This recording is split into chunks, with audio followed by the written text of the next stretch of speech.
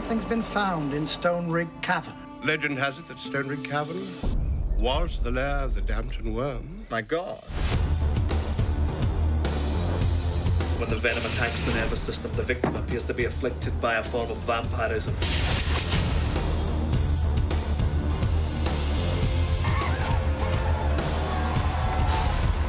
I hear you're having trouble with a snake. Ah, and you're going to uphold family tradition and slay the beastie. Are you out of your mind? My, you are a fine growing boy.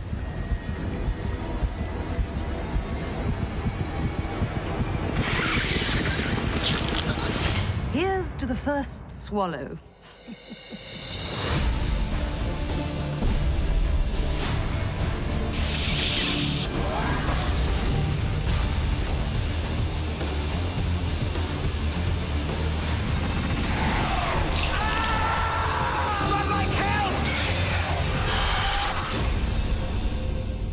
By Christ, have I a tale to tell you.